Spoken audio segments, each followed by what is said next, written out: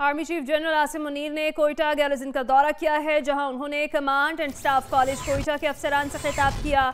Army chief ने रिवायती, जैली रिवायती और फिफ्थ जनरेशन वॉरफेयर के लिए ऑपरेशनल तैयारियों पर ज़ोर दिया। उन्होंने कहा, जो लोग पाकिस्तान के अवाम और उसकी मुसल्ह अफवाज के दरमियान अटूट बंधन को कमज़ोर करने की नाकाम कोशिशें कर रहे हैं, वो इन कभी कामयाब नहीं हो सकेंगे।